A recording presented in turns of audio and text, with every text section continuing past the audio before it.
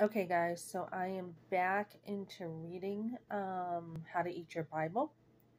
And yesterday we looked at the Beatitudes and we looked at some Proverbs in the ladies' Bible study. And we looked at Proverbs and we talked about um, how to get wisdom. James talks about ask God for wisdom. Proverbs 2 6, the Lord gives wisdom. From his mouth comes knowledge and understanding. So, also in Proverbs, it talks about um, the fear of the Lord is the beginning of wisdom. And there is a relationship with God where you should fear God. You should actually fear for your life if you are convicted of sin.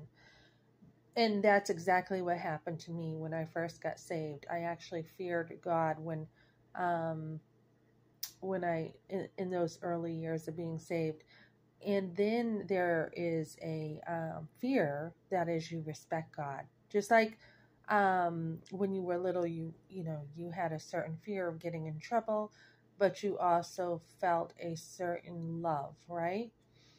Um, so both of those with God, fear and love. And also, you know, a relationship with God is better than any relationship on earth. It's very unique He's our Father. He loves us more than um, anyone else could on this earth. And so we talked about this yesterday, and I find it really um, exciting to see. Here it is again, as I'm in the Word this morning.